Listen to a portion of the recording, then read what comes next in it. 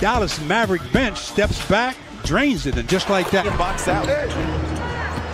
Ingram closely defended by CJ, but the ball volleyed outside where LeBron James takes over his first three of the evening. Really nice vision by Ibaka. Nice vision, but again, when you're guarding that guy, you can't leave him.